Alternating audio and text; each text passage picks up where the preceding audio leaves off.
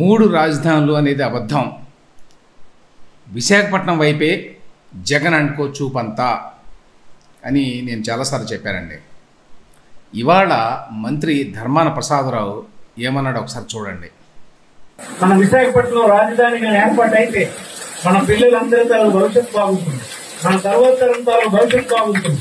దానికోసం మీరు చేయాల్సింది స్వతాలు ఇవ్వక్కర్లేదు నేనేం త్యాగాలు చేయనక్కర్లేదు. విశాఖపట్నమే మాకు రాజధాని అనేటువంటి ఏకకంఠంతో ఒక మాట్లాడితే చాలు సో విశాఖపట్నమే రాజధాని. అమరావతి లేదు కర్నూలు లేదు. అది ఊరకే జనాన్ని మాయ చేయడానికి. ఇక ఈ అబద్ధం చూడండి. అలాగే మనకి రాజధాని విశాఖపట్నంలో నిర్మించాలి అనేటువంటి నిర్ణయం శివరామకృష్ణ కమిషన్ కేంద్ర ప్రభుత్వం కమిషన్ రికమెండ్ చేస్తే చంద్రబాబు దొంగెత్తులు ఏమంటున్నాడండి ఈయన? రాజధానిని విశాఖపట్నంలో పెట్టాలి అని కేంద్ర ప్రభుత్వం వేసినటువంటి శివరామకృష్ణ కమిటీ చెప్తే చంద్రబాబు నాయుడు దొంగెత్తులు వేశాడా? ఎంత పచ్చి అబద్ధం ఇది. ఫస్ట్ పాయింట్ శివరామకృష్ణంతో కేంద్ర ప్రభుత్వం వేసింది కమిషన్ కాదు కమిటీ. ఈ రెండింటికి తేడా తెలియని మరి మంత్రి అయినా అనే అనుమానం వస్తుంది. లేకపోతే జ కావాలనే జనాన్ని మభ్యపెట్టడానికి ఆయన ఇట్లా చెప్తున్నాడో తెలియదు. ఇక అసలు పాయింట్ విశాఖపట్నాన్ని రాజధాని చేయాలని చెప్పి శివరామకృష్ణ కమిటీ చెప్పినట్టు ఈ గడిచిన ఎనిమిదేళ్ళలో ఏ తలక మాసిన వాడు కూడా చెప్పలేదండి. ఎందుకంటే విశాఖపట్నంలో రాజధాని అన్న మాటే శివరామకృష్ణ కమిటీ రిపోర్ట్లో లేదు. అసలు విశాఖపట్నం గురించి శివరామకృష్ణ కమిటీ ఏం చెప్పింది? ఏం చెప్పిందంటే విశాఖలో వివిధ ప్రభుత్వ ఆఫీసులను పెట్టవచ్చు. In particular those dealing with industry manufacture ports shipping petrochemicals etcetera may be located in this particular zone విశాఖపట్నంలో కాదు మొత్తం విశాఖపట్నం ఆ ప్రాంతం అంతా చుట్టుపక్కల ప్రాంతం అంతా కలిపి ఈ ఆఫీసులు మాత్రమే. ఏదో పరిశ్రమలు అక్కడ చాలా ఉన్నాయి కాబట్టి పరిశ్రమలు తర్వాత ఈ పోర్టు షిప్పింగ్ పెట్రోకెమికల్స్ సంబంధించినటువంటివి ఇవన్నీ కూడా ఇండస్ట్రీ డిపార్ట్మెంట్ అనుకోండి. అట్లనే ఏమన్నాడంటే it is appropriate that offices relating to industry fisheries and employment should also be located in the Vizag zone industry fisheries employment employment ఎక్కువ ఉంటుంది అనే ఉద్దేశంతో కావచ్చు బహుశా. ఏమైనప్పటికీ ఈ మూడు శాఖల్ని శాఖలకు చెందినటువంటి డిపార్ట్మెంట్లని వైజాగ్లో పెట్టాలి అన్నాడు. వైజాగ్లో రాజధాని పెట్టాలన్నా ఎక్కడ? ఇంకొక మాట కూడా చెప్పాడండి. చాలా ఆసక్తికరమైనటువంటి విషయం. అదేంటంటే one option is to locate the high court in Visakhapatnam ఒక ఆప్షన్ ఏంటంటే విశాఖపట్నంలో హైకోర్టు పెడితే బాగుంటుంది. ఎందుకంటే ఒక ఎగ్జాంపుల్ కూడా ఇచ్చాడు ఆయన. Damodaram Sanjivayya national school already ఇప్పటికే వైజాగ్లో ఉన్నది. కాబట్టి దానికి తగిన వాతావరణం వైజాగ్లో ఉంటుంది. అది ఒక ఇంపార్టెంట్ లీగల్ రిసోర్స్ కాబట్టి అది అనువుగా ఉంటుంది అని చెప్పి చెప్పాడు. సో వైజాగ్లో పెట్టమన్నది high court fisheries industry employment departments ఇక్కడ ఇంకో మాట చెప్పాడండి. విశాఖపట్నంలో హైకోర్టు పెడితే బాగుంటుంది అని చెప్పి చెప్పి వైజాగ్లో గనక హైకోర్టు పెట్టినట్లయితే రాయలసీమలో ఒక బెంచి పెట్టవచ్చు అని కూడా చెప్పాడు. ఇంకొక ఇంపార్టెంట్ పాయింట్ కూడా ఉన్నదండి.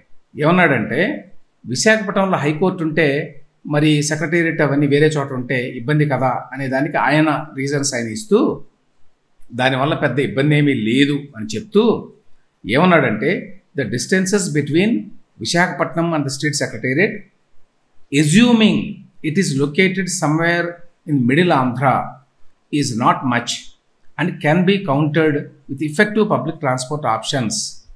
అంటే అర్థం ఏంటండి? స్టేట్ సెక్రటేరియట్ అనేది మిడిల్ ఆంధ్రాలో ఉంటుంది ఎక్కడో చోట. మిడిల్ ఆంధ్ర అంటే ఏంటండి? మధ్యలో రాష్ట్రానికి మధ్యలో.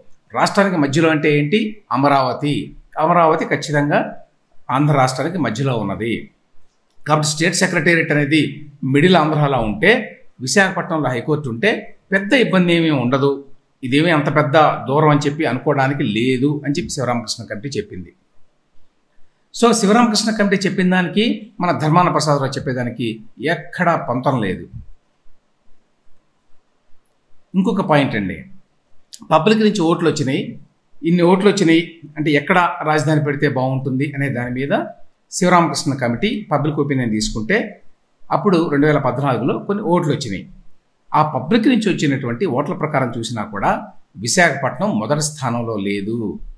నాలుగో స్థానంలో ఉంది.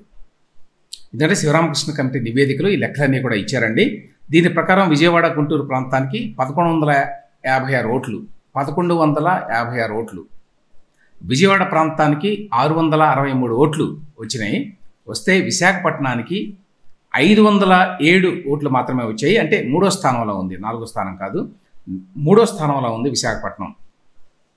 పదకొండు వందల యాభై ఆరు ఆరు వందల అరవై మూడు విజయవాడ ఐదు వందల ఏడు విశాఖపట్నం.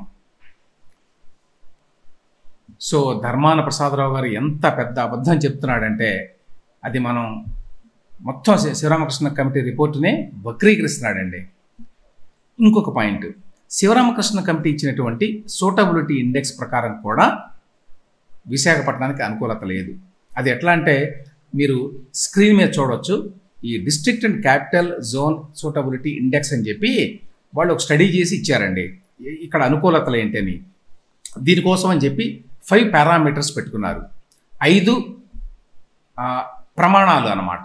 ఈ ఐదు ప్రమాణాలు ఏంటంటే risk connectivity water land development ఈ ఐదు ఎట్లా ఉన్నాయి అనేది రిస్క్ అనేది తక్కువ ఉండాలి మిగతావి ఎక్కువ ఉండాలి సహజంగానే.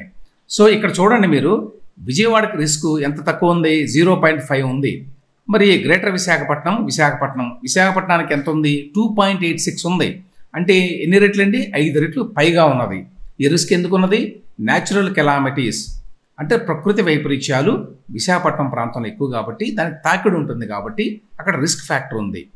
సో విజయవాడ ప్రాంతంలో జీరో పాయింట్ ఫైవ్ అయితే విశాఖపట్నంలో టూ పాయింట్ ఎయిట్ సిక్స్ కానీ దీన్ని వక్రీకరించి అమరావతిలో ఎక్కువ అని చెప్పి అప్పట్లో వీళ్ళు చాలా అబద్ధ ప్రచారం కూడా చేశారనుకోండి ఆ తర్వాత కనెక్టివిటీ కనెక్టివిటీ అంటే రవాణా సౌకర్యాలు ఎట్లా ఉన్నాయి? అంటే వన్ పాయింట్ ఎయిట్ వన్ ఉంది విజయవాడలో.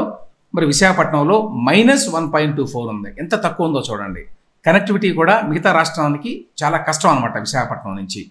వేరేజ్ విజయవాడ నుంచి రాష్ట్రంలో ఏ మూలకు వెళ్ళాలన్నా కూడా మీకు కనెక్టివిటీ చాలా బాగా ఉంది. రవాణా సౌకర్యాలు చాలా బాగా ఉన్నాయి.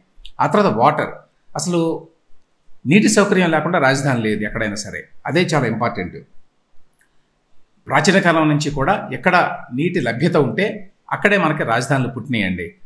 గతంలో కూడా అమరావతి యొక్క ప్రాభవం ప్రధానంగా కృష్ణా నది పరివాహక ప్రాంతం అయినందువల్లే.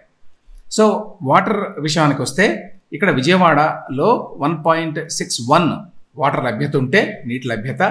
విశాఖపట్నంలో చూడండి జీరో పాయింట్ వన్ ఫోర్ ఉందండి. ఎంత తక్కువ ఉందో చూడండి వాటర్. సో ఈ మూడు ఇంపార్టెంట్ పారామీటర్స్లో విశాఖపట్నం చాలా తక్కువ ఉన్నది. ఒక ల్యాండ్ విషయంలో మాత్రం విశాఖపట్నం కొంచెం బెటర్గా ఉంది.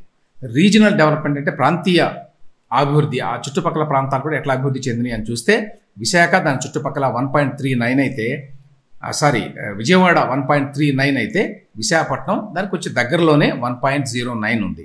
సో ఇందులో చూసినా కూడా మొత్తం మూడు ఫ్యాక్టర్స్ ఏవైతే ఉన్నాయో రిస్క్ కనెక్టివిటీ వాటర్ ఈ మూడింటిలో కూడా విశాఖపట్నం చాలా అననుకూలంగా ఉంది. కాబట్టి ధర్మాన ప్రసాదరావు గారు చెప్పింది పచ్చి అబద్ధం అనేది నేను మొత్తం శివరామకృష్ణ కమిటీలో ఏం చెప్పారో చెప్పాను మీకు. ఎందుకంటే శివరామకృష్ణ కమిటీలో విశాఖపట్నం గురించి ఇంకేమీ లేదు. అయినా కూడా అంత సునాయాసంగా ధర్మాన ప్రసాదరావు ఎవరికి తెలియలే అని చెప్పి బహుశా శ్రీకాకుళం అనుకుంటాను ఆయన మాట్లాడింది. చాలా సునాయాసంగా జనానికి చెప్పేశాడు. మనకి అసలు విశాఖపట్నాన్నే శివరామకృష్ణ కమిటీ చెప్పినప్పుడు రాజధాని అని అయినా చంద్రబాబు నాయుడు పెట్టలేదు అని. అసలు ఈ ధర్మాన ప్రసాదరావు మాట మార్చడంలో చాలా దిట్టండి. ఇదే ధర్మాన గతంలో రాజధానిగా అమరావతి ఎంపికైన తర్వాత ఏమన్నాడో చూడండి ఒకసారి. వైఎస్ఆర్ కాంగ్రెస్ పార్టీలో రాజధాని ప్రాంతం ఇంకొక ప్రాంతంలో నిర్మాణం చేయడం అనేది లేదు. అది తేటతెల్లం అయింది ఎవరు అట్లాంటి విషయాలు మళ్ళీ వైఎస్ఆర్ కాంగ్రెస్ పార్టీకి ఆపాదించడానికి ప్రయత్నం చేయొద్దని కోరుతున్నాను. అందుచేత రాజధాని ఇంకొక ప్రాంతంలో పెట్టండి అని ఎవరైనా రాష్ట్రంలో అడిగేవారు ఉంటే ఆ అంశానికి ఇక చోటు లేదు.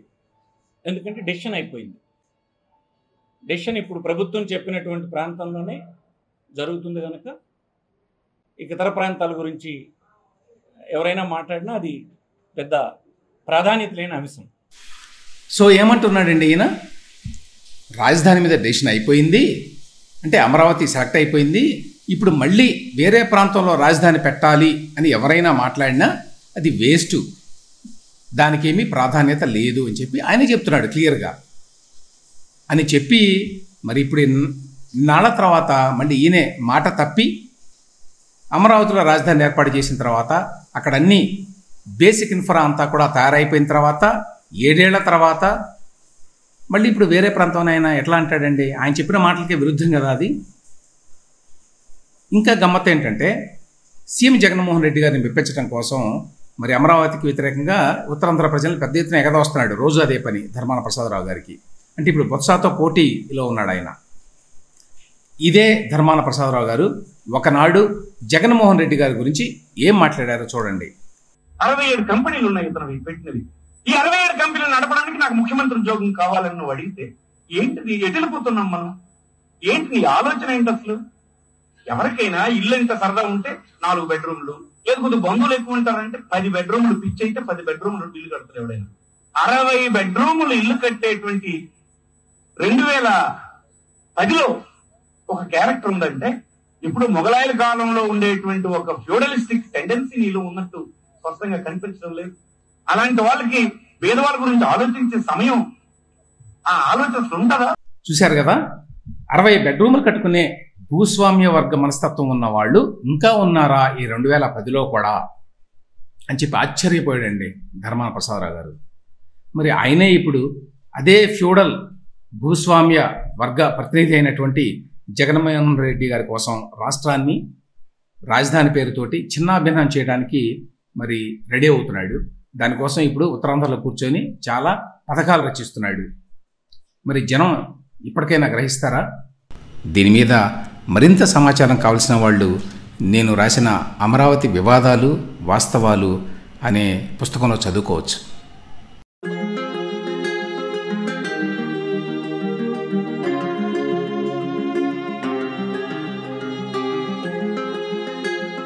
ఇలాంటి మరిన్ని వీడియోలు కావాలనుకుంటున్నారా? అయితే సబ్స్క్రైబ్ చేసి పక్కనే ఉన్న బెల్ సింబల్ను క్లిక్ చేయండి.